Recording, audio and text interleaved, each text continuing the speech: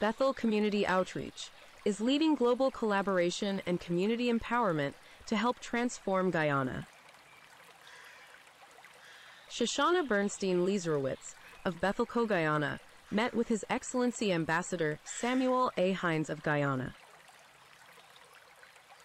underscoring a new chapter for community development in Guyana.